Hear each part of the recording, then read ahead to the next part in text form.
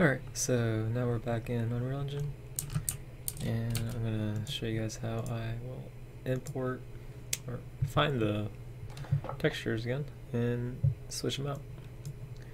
Click on the face right here. So we have our uh, blueprint placed and everything. So click on the face, then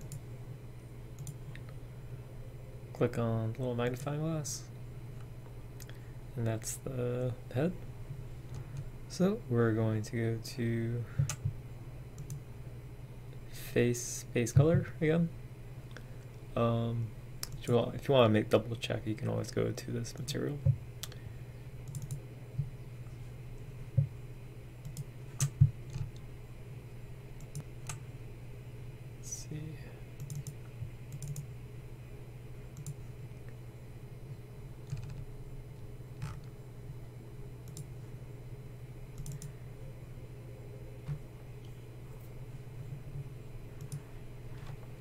Okay, click on the magnifying glass after going into the skeletal mesh viewer.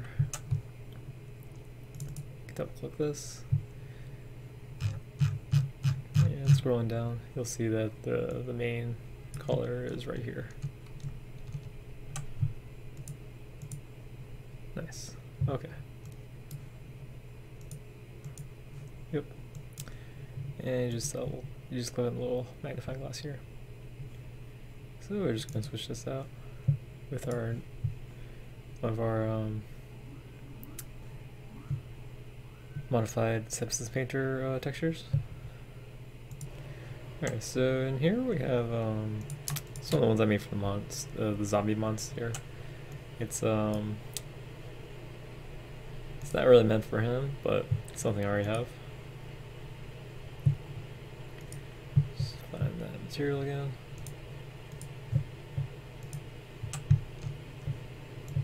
And this is a material instance so it's not um the master material or anything. So you'll see changes um, instantly. So you just grab the color stick in here. As you see um, all of metahumans kind of share a similar UV setup which makes sense. Alright and then normal map is this first one right here. And then we have the occlusion, roughness, metallic. Uh, let's see. So I don't think this, um, actually, let's double check. So this is the one that's currently there. Uh, let's, let's see.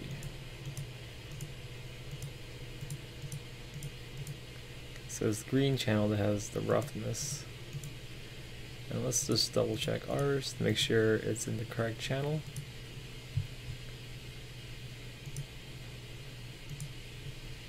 Just pressing the back button to go to back over. And let's see. Looks pretty good. Yeah, so red with an um, ambient occlusion, roughness, then metallic. Um, yeah. So we're, we're all good here. Just leave these default.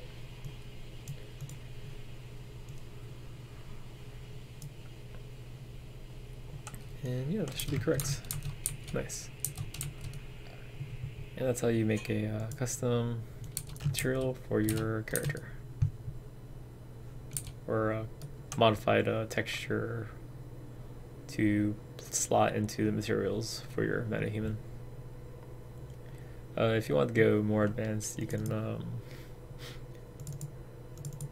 look at all the um, like the blend shapes and modify these as well.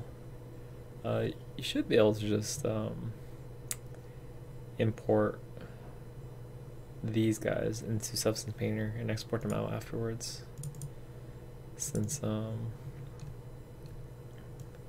don't believe too much of the things change besides some of the expressions. Cool.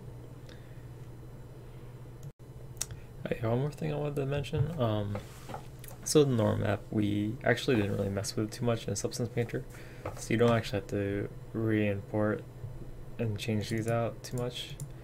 Um, but if you did do something like that Frankenstein, like the normal stuff, um, like with the divots and the cuts and everything, you can actually just merge um, the current normal map with the new one if you're planning on doing the blend shapes as well.